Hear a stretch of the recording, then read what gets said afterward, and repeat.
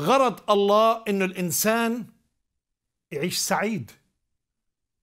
ليه؟ ليه ثقافة الموت والحرب والدمار؟ ليه؟ بتعرفوا أحبائي في الحرب العالمية الثانية كان جنود اليابان انتحاريين ينزلوا بالطيارة على البارجات في ال harbor. Pearl آه، Harbor في الميناء في أمريكا. وكان في ضحايا كثيره اضطر الرئيس في تلك الأوقات ترومان إنه يضرب قنبلة على هيروشيما وعلى ناكازاكي. وراح ضحايا كثير الإمبراطور استسلم. وأعلن يعني إنه استسلم مش عاوز مزيد من الضحايا. ولا الأمريكان عاوزين يحاربوا بالكوماندو رح يخسروا مع اليابان ورح يموت مش أقل من مئة ألف جندي في اليابان.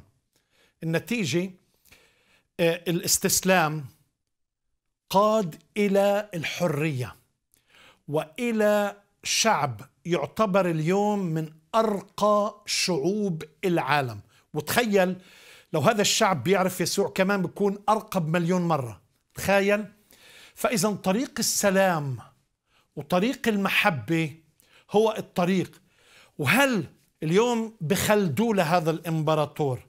وبالعكس لأنه بحب شعبه وبحب بلده مش عاوز ضحايا مش عاوز موت مش عاوز أكثر ضحايا. إحنا مش جماعة انتحاريين.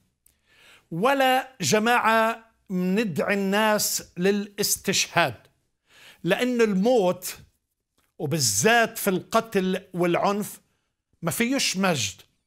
ومش بس أنت بتخلص على حياتك وبت بتدمر أسرتك وعيلتك لسنين والأم ولا الأيتام رح يبكوا كل العمر وندم.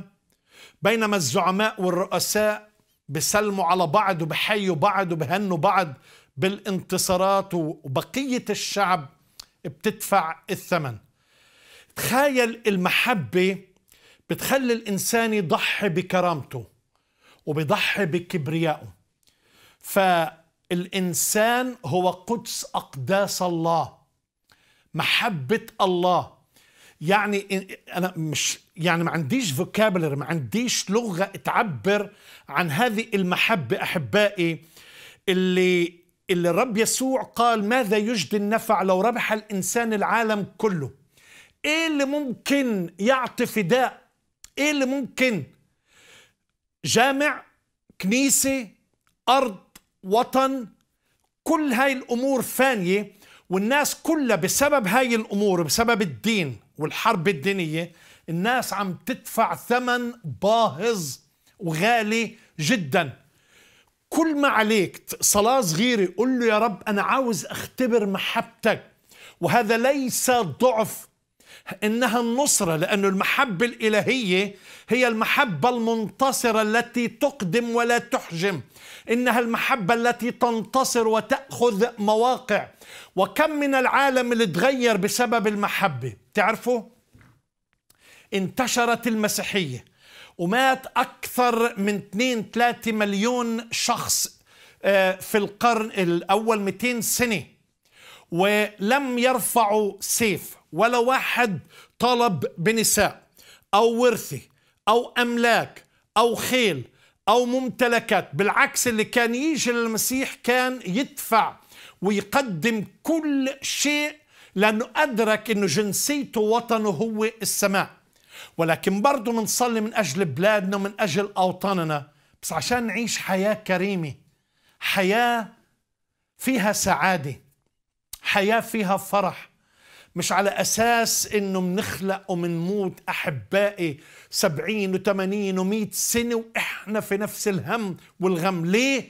كبرياء الإنسان وشر الإنسان وإنه بدافع عن الدين. إحنا مش بنقدم حياتنا ليسوع مع إنه لو أدى مستعدين. ولكن إحنا لا نقول فداك يا يسوع. لا. يسوع هو اللي قال أنا فداك. أنا اللي مت من أجلك. أنا مش عاوز أي إنسان يموت من أجلي. أنا اللي أجيت أموت من أجل البشر. أنا اللي راح آخذ مكانك ومكانك. أنا اللي بقدم نفس الذبيحة أمام الله الآب. أنا اللي راح أدفع الثمن أنا ما بدي ذبايح كثيرة. وما بدي استشهاد وما بدي ناس تموت. أنا اللي بموت من أجلك. هاي هي المسيحية.